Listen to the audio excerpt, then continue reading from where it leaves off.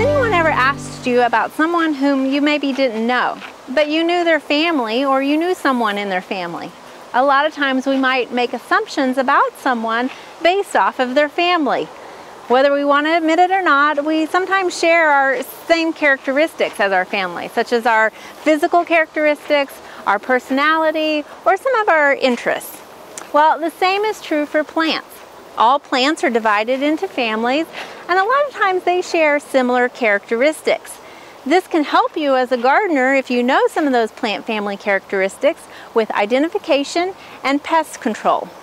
Here we have a cotton plant and you see this growing in the agriculture fields a lot. We have an ornamental black cotton here as well. Now this plant is in the Malvaceae family or the mallow family. And a few characteristics that define this family is that it has palmate venation. And you can see on the leaves that the veins radiate out from the center of the leaf.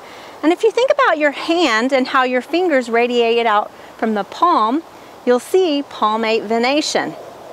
Now the other thing is that these have a flower that have five petals and also five stamen.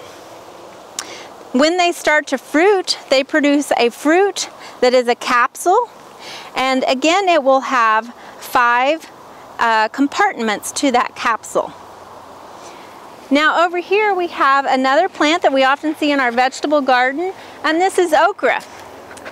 Okra is also in the Malvaceae family and you might see some similarities. If you look at the leaf, while it's deeply lobed, it also has palmate venation and it has flowers that also have five petals and five stamen. Now sometimes those stamen may be fused. Of course the fruit again has a nice capsule fruit that will break open. Now if you look at the cotton flower and also the okra flower, you might see some similarities there and recognize it as another plant that we know in our landscape, and that's the rose of Sharon or the hibiscus. These two plants are also in the Malvaceae family, are better known as the mallow family. And there's a few sweet treats that we also get from this family. The marshmallow, the cacao, and also the cola plant. You want to make sure not to make any dangerous assumptions about plants just because they are in a certain plant family. In fact, even though we eat peppers and tomatoes, there's many, many plants in the nightshade family that are toxic, including this nightshade here that we often see growing in our pastures. Even though it has a tomato-like fruit, this is a toxic plant.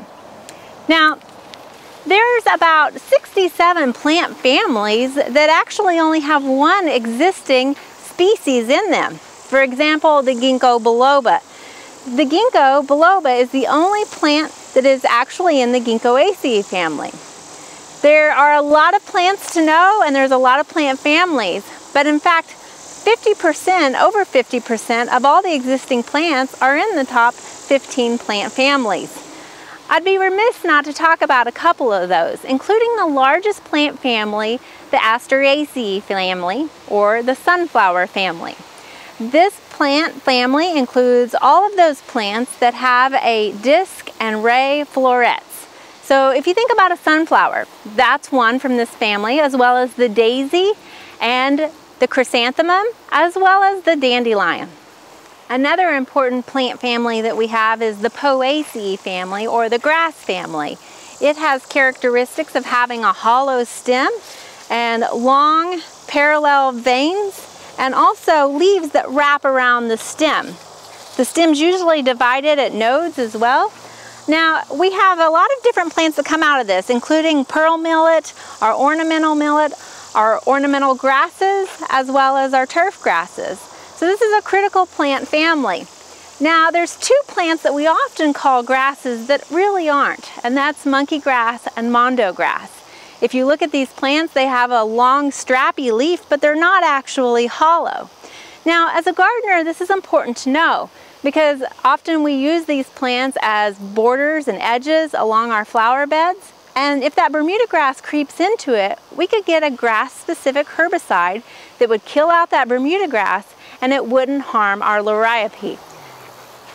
There's a lot of plant families and as you can see they each have their own unique characteristics. We've only just touched on a few here, but I hope next time that you're looking at what plant is what, not only do you give consideration to the name, but you also take a look at which family it's in.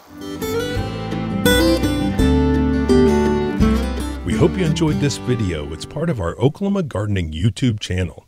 You can also find even more videos on our OK Gardening Classics YouTube channel. And join us on social media for great gardening tips, photos, and discussion.